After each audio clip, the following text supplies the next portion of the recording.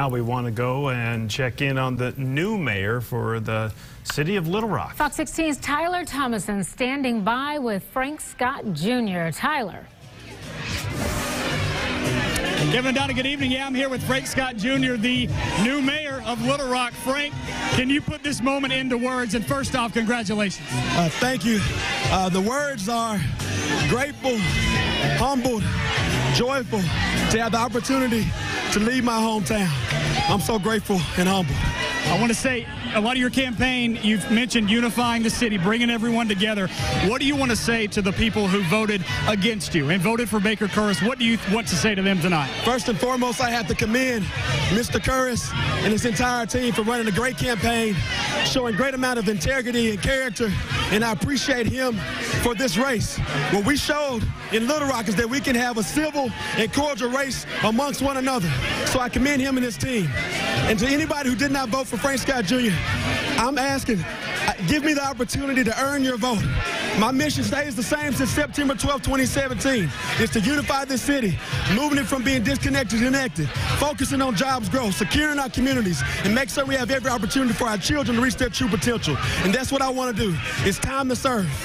I do want to ask you, you mentioned that being the third African American mayor in Little Rock, it didn't mean much to you on this campaign. You're the first African American mayor elected by popular vote.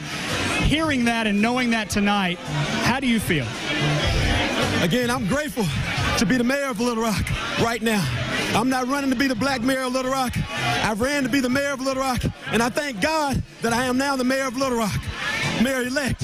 And that's what it all matters. It's unifying this city, focusing on jobs growth, securing our communities, and engaging our children. That's what it's about. After you're sworn in, what's your first priority? What's the first thing you want to get done? First thing you want to do?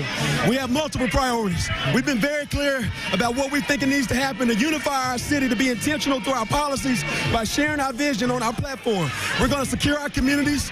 We're going to engage our youth. We're going to focus on jobs growth, and we're going to unify this city. I don't know if you know this or not, but City Manager Bruce Moore is in the building this evening. Have you spoken to him tonight? If so, what'd you say? All we did was greet one another.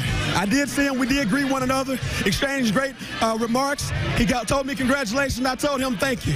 And so we're going to work not only with Bruce Moore, we're going to work with every city director. We're going to work with every city employee. We're going to work with every constituent because, again, it's about unifying this city. Last thing, uh, anything else you want to say to the people of Little Rock that are watching this tonight, people that voted for you, people that didn't vote for you, anything else you want to say? I appreciate you. I appreciate you. Frank Scott Jr., congratulations, Thank new mayor of Little Rock. Thank you for your time. You so All right, so you heard from the new mayor of Little Rock right here at Cajun's Wharf. Uh, he's ready to get to work, and uh, he's grateful. And we'll be uh, we'll be watching this campaign moving forward to see how things go from here on out. Live at Cajun's Wharf in Little Rock, Tyler Thomason Fox 16 News. We'll send it back to you guys.